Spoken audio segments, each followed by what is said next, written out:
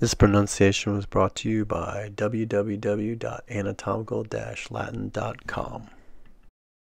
Perionyx, Perionychis, Perionyx, Perionychis. To learn the grammar and vocabulary of anatomical Latin, please go to www.anatomical-latin.com.